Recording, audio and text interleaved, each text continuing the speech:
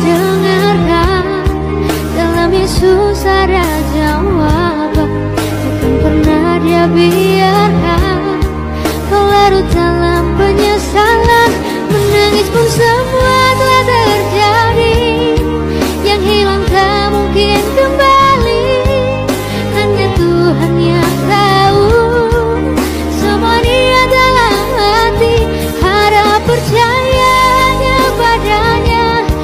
que tiene día.